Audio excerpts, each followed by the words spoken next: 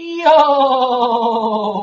What's up, everybody? It's SupaFly Fat Guy 859 coming at you again. And I'm coming at you with a video that it's my reaction video, but it's also it's kind of video to let you know that uh, man, just because a, a, vid a, video goes viral, that's not always a good thing. And let me explain to you what happened. Uh, for those of you that's not from this area, this is actually something that popped up in my Facebook news feed uh, recently. Um, Cincinnati native Adrien uh, Bronner or Broner, maybe it's Broner. Um, he, I, I don't know where he was or what. Anyway, he was driving down the road. Uh, maybe he was crossing a bridge. I'm not sure. Anyway, he was in Cincinnati, and there's this dude um, panhandling. You know what I mean? He's he's got a sign. He's got a sign or whatever. And I don't go to Cincinnati much. I'm actually from Newport, uh, Kentucky, which is right across the river. I don't go to Cincinnati much, but I'm, I'm fairly certain I've seen that dude before. Um, anyway, I'll go ahead and put a picture in now.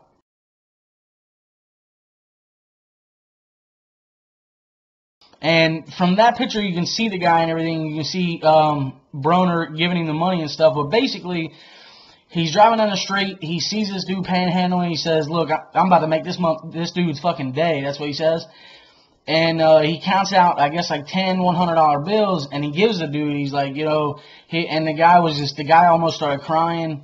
He was like, man, you know, thank you very much. He was like, you have no idea what this means to me. He was like, it means the world to me. And and uh, Broner was like, man, it means the world to me too. Trust me. He was like, just do something good with it, right? So apparently, within the next day or a couple days, this video went viral. Like it went off the wall crazy, right? Well, apparently people started seeing it in Cincinnati, and when they would see the dude, they'd be like, "Hey man, let me get a dollar," you know, "Let me get this," you know, asking for money because now they know he's got money, right? Well, uh, apparently four dudes or whatever uh, catch up with him, and uh, long story short, they beat the shit out of this dude and robbed him.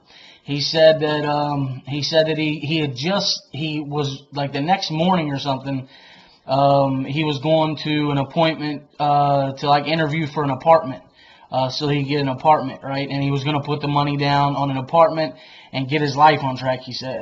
And um, whether that's true or not doesn't matter. The fact of the matter is, uh, he said he only spent like 30 some odd dollars of it and got the shit beat out of him for the rest of it, which is very, very, very true. Or, well, not true, but it's very possible. Uh, because it, you know, that the viral videos are just they do just that. They go viral. So um, it just blew my mind, man. I was like, man, I can't believe. God, I just that sucks. Like, dude got a thousand dollars and he gets robbed for it. You know what I mean? And it's like, man, what a piece of shit. Like them four dudes.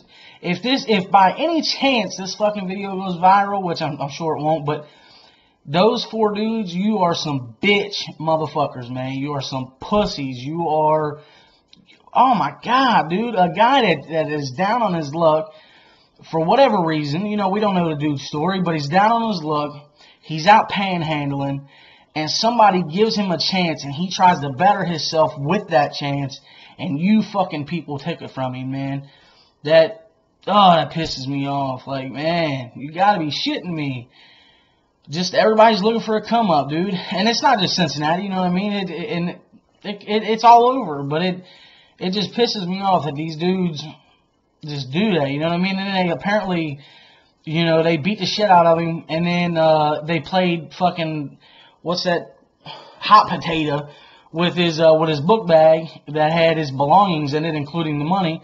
Uh, in front of him, like they're toying with him. Not only beat the shit out of him, but then they're they're toying with him with, with his belongings and then take off with it. And it just, I can't believe that, man. Like that. I mean, I can believe it, but I don't know, it just pisses me off, dude. It, it just pisses me off. Like, them dudes are some pussies, in my opinion. Bitch, go get your own fucking money. Anyway, guys, that's that's my my reaction. I just wanted to say, you know, not always uh, viral videos aren't always a good thing. Not always. You know, we see the one where the dude gets kicked in the head by the guy on the train and the shovel, the chick getting hit by the shovel. That's all fun and funny or whatever, but sometimes they end in some shitty situations, you know what I mean? And it's it, it sucks, man. It really, really does suck because that dude could have very well went on with his life and, and did something good and, and, you know, had that chance that he needed and he got it robbed from him. So that sucks. Everybody, take it easy, guys.